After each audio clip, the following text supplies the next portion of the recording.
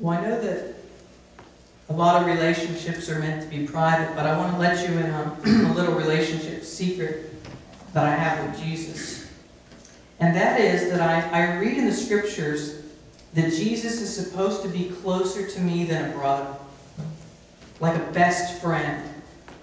And I, and I read that and I hear that with my ears, and yet when it comes to my experiences, I don't necessarily feel all the time that Jesus is closer than a brother or closer to my best friend. Or I don't necessarily feel that Jesus is actually closer than I am with Susan. You know how you just you have a connection with somebody and you feel that, and yet Jesus is supposed to be closer than all these people, and yet that's not always how I feel necessarily. For example, I know that God is holy, holy, holy. Is the Lord Almighty, and the whole earth is full of His glory.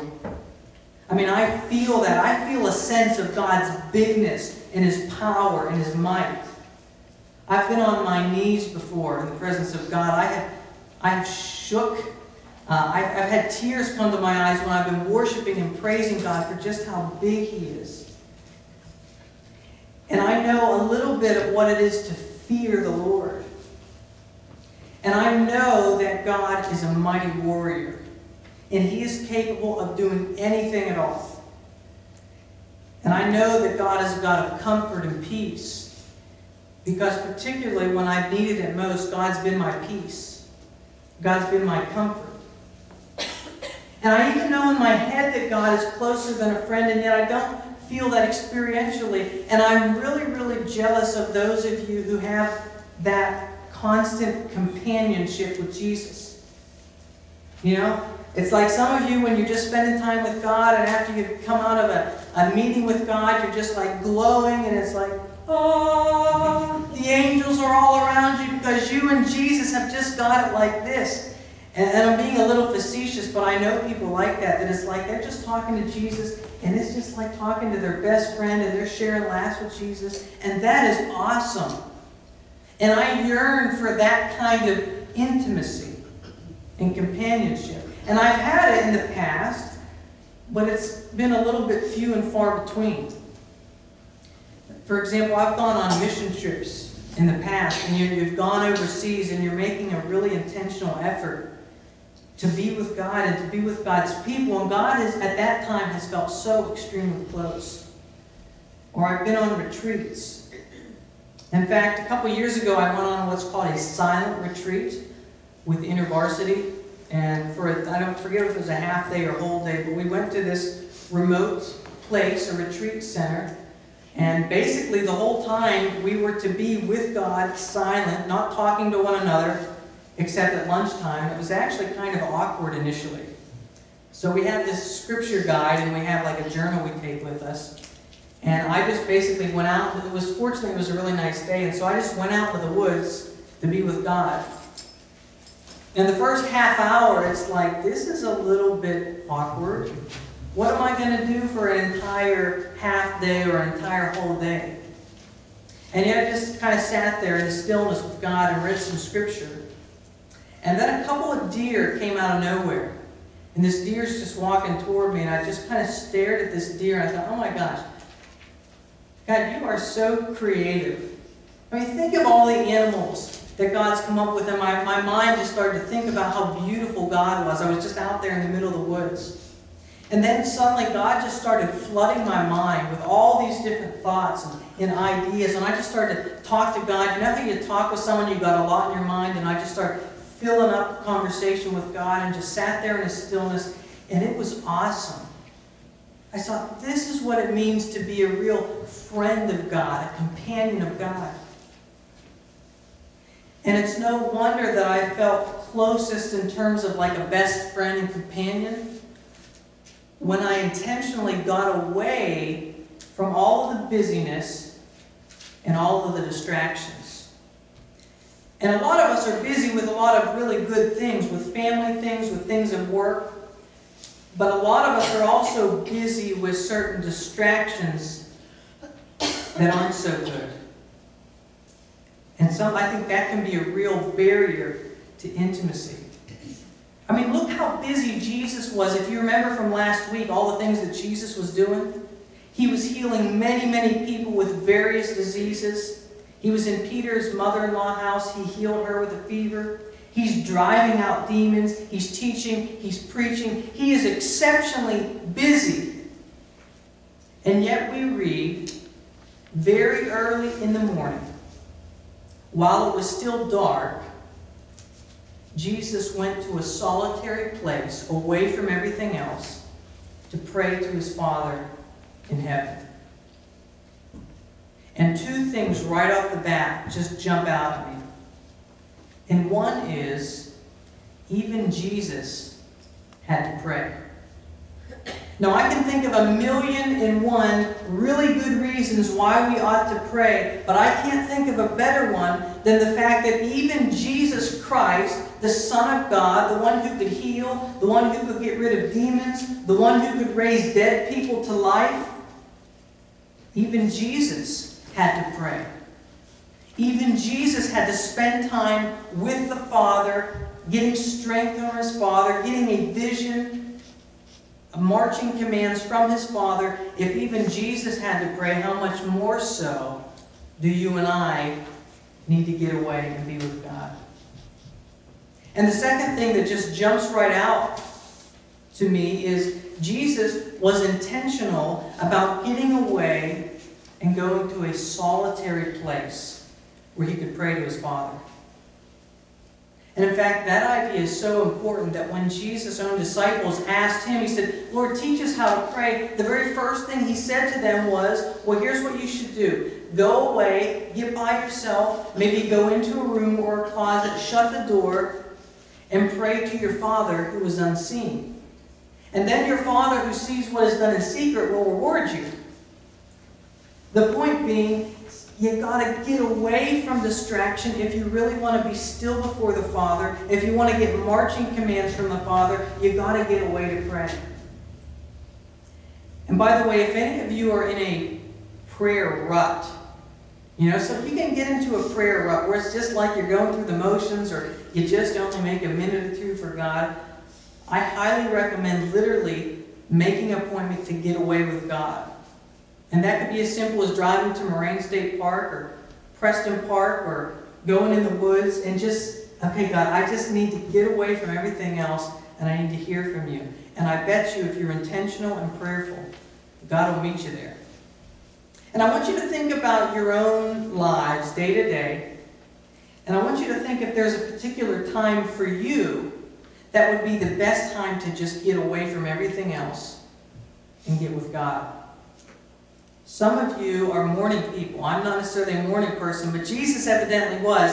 Very early, the text says, while it was still dark, Jesus got away. And some of you, that's your best time. You can get up before the kids, you can get up before your spouse. It's just you and God with your coffee. You're sitting in your den. You know, you're, maybe you're eating breakfast, and that sounds really relaxing to a lot of you. Or some of you thinking, I am not a morning person maybe mid-morning, maybe a lunch break, I can just get away, go into the coffee room by myself, and have some time with God. But the important thing is making an intentional effort to get away to a solitary place. And some of you might be thinking, Brady, I have no place that's a solitary place. My kids are running around. I got X, Y, and Z going on. But I read a story of a woman who had a bunch of kids running around, and her only solitary place that she could find was literally mid-morning, I think it was mid-morning, to put a blanket over her head to pray to God. Her solitary place was just simply putting a blanket over her head where she could get away and get with God. And as awesome as that sounds to me, like just getting away and and just me and God maybe out in the woods, just, just you and God, you got your coffee and you're away from all the distractions. As peaceful and awesome as that sounds, eventually we got to get back to people, fortunately or unfortunately. And that's what happened to Jesus. Jesus is out there praying, having his time with God, focused. And then all of a sudden, Jesus' disciples come running. Simon comes and says, ah, Jesus, we've been looking for you. People have been looking for you. People need healed. People want to hear from you. People want to see some more miracles. Jesus! You know, when they're just frantic. And don't you ever feel like that sometimes? You just want to get away, and yet kids come running up, or people at work have something going on, or you're stressed, or you've got all these chores going on, and it just feels like you're kind of at the end of your rope. And that can be a really exhausting place to live. But I don't know if you have to live in that particular place because Jesus, instead of saying, oh, wait a minute, this guy needs healed. Well, let me go here. Oh, this person wants to hear from you? This person wants to see a miracle? And instead of going to every little demand, Jesus simply said what? After having spent time with the Father, he simply said, Let us go to another place, to other villages, so that I may preach and teach there, for that is why I have come. Isn't that interesting? There were all these busy things that Jesus could have been. Good things. Isn't it a good thing to heal somebody? Right? But instead, Jesus knew, after having spent time with the Father, he knew what his mission was. He knew what his purpose was for that day and in general, and that was to get away and go to another village so that he might proclaim the kingdom. Remember, he said, The king has come, Jesus is the king, the king has come, therefore repent and believe the good news. That was his message. He says, I'm bringing the reign of God, the reality of God, and I want all people everywhere to turn from sin and turn to me and believe that I am the good news.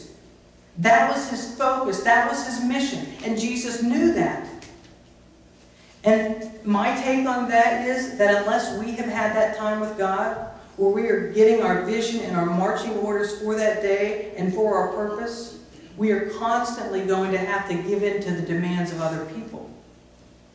And again, that can be a really stressful way to live. And by the way, if you have spent time with God and you come out of that saying, okay, my purpose is something other than loving people like Jesus or making disciples, or making much of Jesus, then you probably got the purpose wrong. There probably was a little bit of a communication barrier there. But I think a really good example of what I'm talking about is the story that Fran read for us. Not a story, but a scripture text about Mary and Martha uh, from Luke 10. Now, Jesus and his disciples were on their way. He came to a village where a woman named Martha opened her home to him. This might be a familiar story to you. She had a sister, Mary, who also sat at the Lord's feet listening to what he said. But Martha was distracted by all the preparations. And she came to him and said, Lord, don't you care that my sister has left me to do the work all by myself? Tell her to help me, for goodness sakes. Martha, Martha, the Lord. Isn't that, don't you love that? I remember sharing that with Martha um, Martha Reed, Martha, Martha, the Lord answered, You are worried and upset about many things, but few things are needed. Indeed, only one. Mary has chosen what is better, and it will not be taken away from her. In other words, there's a time and place where you've got to clean the house, you've got to get preparations in order, you've got to cook dinner, you've got to run kids to and fro. But what is singular what is most needed more than anything else is to be free from distraction, to sit at the feet of Jesus. And I'm telling you, how are you and I going to get our purpose if we don't make time to get away from distractions? And again, some things are, sometimes it's good to be busy, but what is of first importance, Jesus said, is to sit at the feet and to receive from Jesus. And to do that well, we've got to make a block of time, at least on a daily basis, to get alone and to be with God. God desires to free you from distractions so that you can focus on things that are of eternal value. And that's really important to me. It's really important for me that God wants to free me and all of you from distractions so we can really be focused on what is of eternal value. Healing is good, but that's not necessarily permanent. And Jesus was focused on what is eternally significant, which is to preach and teach to other villages that the king has come, and therefore make disciples, and then go to another village where other people, disciples, can be made, and then that's how the movement spread all throughout the world. But Jesus knew his focus. And this morning, like I shared earlier, I'm speaking to you as a fellow struggler, right? Not an expert, but one who's struggling with you to really find that, that really friendship kind of connection with Jesus, which only comes with spending time. And that, that makes sense, doesn't it? The people that you're closest to, don't you intentionally make time to spend with them? Like your spouse or your good friend? That doesn't just happen by accident. So if we're going to get this thing right, it's got to be intentional. How many of you have ever gotten to work on time by accident? Right? You, you know what you've got to do to get there. So the same kind of thing, we've got to be intentional. Um, and by the way, I want to be, um, I mentioned about I don't always feel as close to God. And we've got to be really careful about our feelings because our feelings can be deceptive. Okay? And there's something to be said for having daily rhythms with God. Right? Daily in the Word. Daily praying to God. Okay? You might not always feel like you once did 20 years ago when you first came to Christ, just like you know, a date with Susan might not feel the same as it did 10 years ago.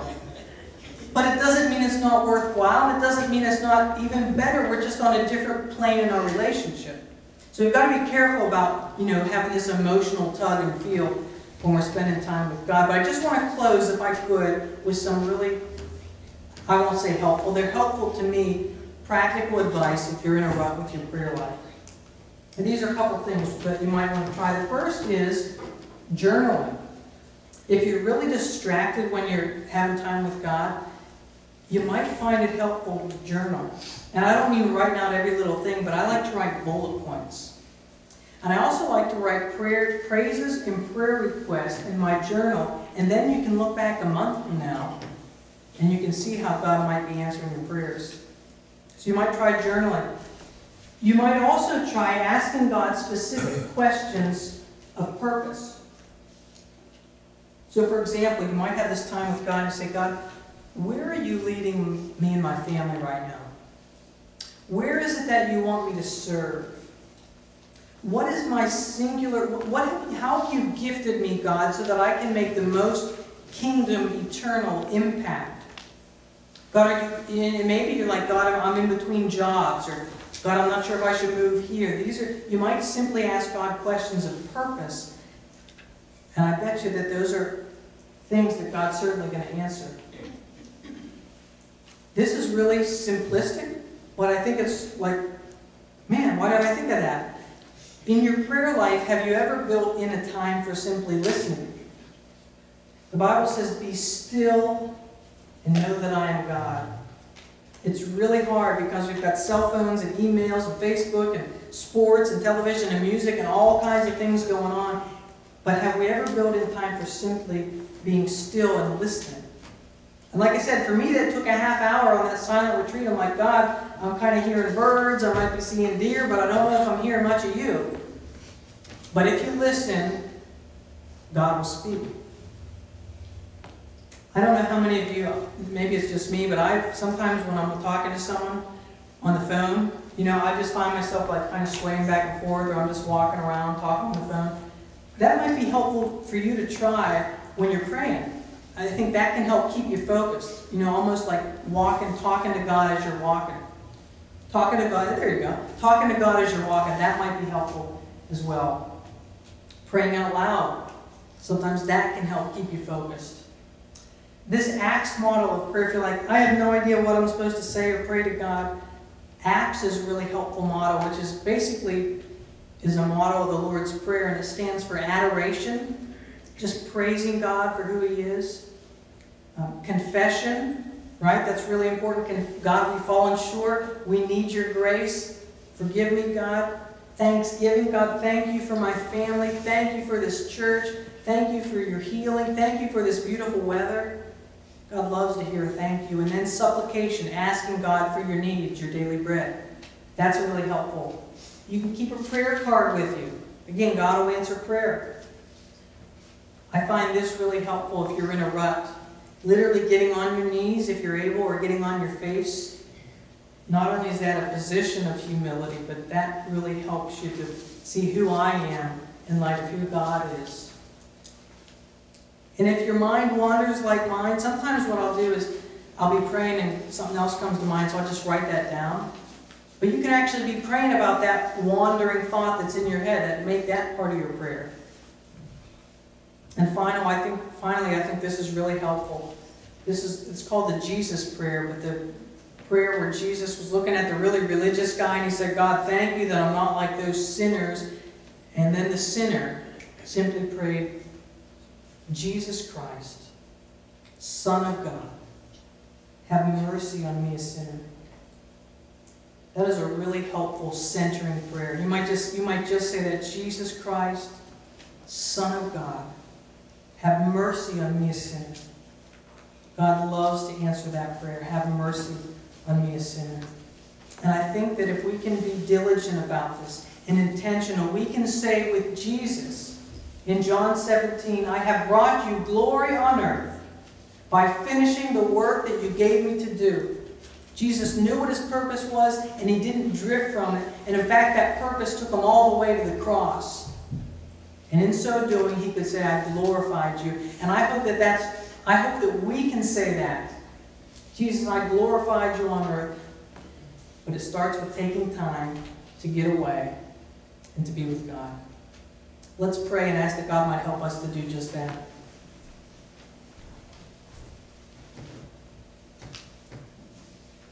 Father God, I thank you